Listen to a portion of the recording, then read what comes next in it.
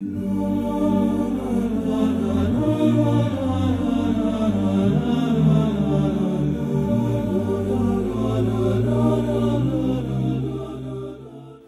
الكرام السلام عليكم ورحمة الله وبركاته. الحمد لله والصلاة والسلام على رسول الله وعلى آله وصحبه ومن والاه. ثم أما بعد أحبتي في الله حياكم الله وبياكم وجعل الجنة مثوانا مثواكم.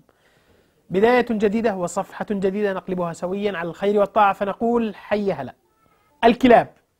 يحكى أن مدينة صينية كان يسكن فيها أكثر من تسعين ألف بني آدم في هذه المدينة وفي يوم من الأيام هجمت عليهم كلاب برية بعدد كبير جدا أعداد هائلة من الكلاب. حاولوا أن يخرجوها حاولوا أن يفعلوا أي شيء ما استطاعوا لذلك سبيلا.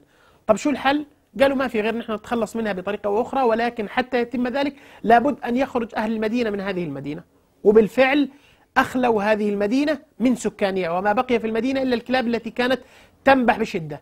ولكن هنا حدثت المفاجأة واللي هي زلزال مدمر أباد المدينة عن بكرة أبيها وحولها إلى أثر بعد عين. طب وين كانوا سكانها؟ كانوا خرجوا منها. إيش اللي طلعهم؟ الكلاب اللي كانت بتنبح واللي أهل القرية اعتبروها إيش؟ مصيبة. ما بعدها مصيبة. ولكن المصيبة الحقيقية لو كانوا فضلوا في القرية وحصل عليهم الزلزال كان كلهم ماتوا. ولكن الله إذا أراد أمرا هيأ له أسبابه.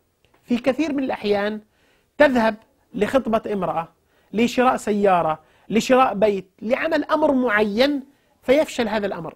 أنت رتبت نفسك وهيأت حياتك ورتبت كل ظروفك على هذا الأمر في هذه الفترة. أي تفاصيل أخرى ما تهمك. لما يذهب منك هذا الشيء وتفقده إيش اللي يصير؟ حزن يعتريك لأنك خلاص لا يمكن أن تعيش دون هذه الزوجة. لا يمكن أن تعيش دون هذه الوظيفة. وغيرها من المعطيات. قس على ذلك. شيل الزوجة شيل وظيفة شيل شراء دار وضع مكانها الظرف اللي حصل معك شخصيا. ستجد أنك فعلا أصبحت أسير هذا الحزن ولا تستطيع أن تتخيل. بعد أيام تكتشف أن ما خبأه الله تبارك وتعالى لك من خير في باطن هذا الشر كان أعظم بكثير مما لو أقدمت على هذا الأمر الذي علقت قلبك به. فكم من خير كان في ظاهره شرا وكم من شر خبئ في باطن الخيرات. اعلم يقينا أن ما ادخره الله تبارك وتعالى لك هو الخير هو الخير. عجبا لأمر المؤمن أمره كله له خير. إن أصابته سراء شكر فكان خيرا له وإن أصابته ضراء صبر فكان خيرا له وليس ذلك لأحد إلا للمؤمن. قضية الرضا واطمئنان القلب بأن ما اختاره الله تبارك وتعالى لك هو الخير هو الذي يزرع في نفسك الطمأنينة إياك ثم إياك أن تأسى وأن تحزن على أمر وأن تقف طويلا للبكاء على الأطلال ولكن قل الحمد لله اللهم أقدر لي الخير وبارك لي فيه ورضني به.